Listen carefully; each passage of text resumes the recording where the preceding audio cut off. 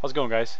Today we're going to look at uh, removing apps from the Ouya that you did not install through the Discover Store, so stuff that you may have side-loaded. So, I've already pre-shot the video, I'm just going to show you on here and maybe play with play with the way I've been normally doing it and maybe make it a little bit easier to see, less shaky cam. You know how I like to do. So alright, first off, we've already gone too far. First of all, go down to Make, your software there. So this is just to show you guys some of the stuff. So I have that UAE 4 Droid. I believe it's a uh, it's an emulator that I couldn't get to work. So it's an Amiga emulator. So I head down to Manage. Uh, and then I'm going to hit on System there. Uh, and then Advanced.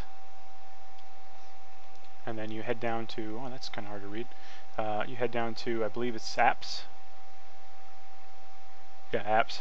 And then, um, I remember here I made a mistake, I was trying to find it, but uh, you want to go to the right. I'll figure it out in a second in the video. I like seeing myself be confused. There we go. So down to, no, go over. You. By you, I mean me.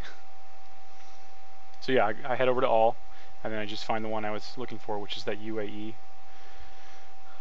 which they're alphabetical order, so I don't know why I'm not just scrolling faster. I'm an idiot. Uh, anyway, so there it is. There, you'll hit you'll hit O on that, and you'll head down to uh, to the right, uninstall. There. Thanks for pointing at that self in the past. That's pretty cool. And then bumping the camera. Then it'll say, "Do you want to uninstall?" Just say, "Okay." To the right. Um, there you go. That's all you got to do. So that's it. Pretty easy. If you guys have any more questions about that or anything else, anything you'd like to see, you know, dating tips, whatever we need, I got you covered. Till next time, thanks.